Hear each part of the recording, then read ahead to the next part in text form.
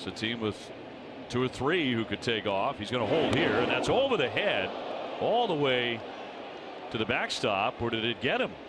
Yeah, it did. It hit him. He got hit by the pitch. Almost got hit in the head by that pitch.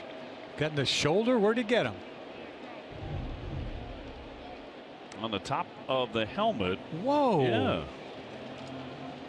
And Hanley Ramirez will take his base.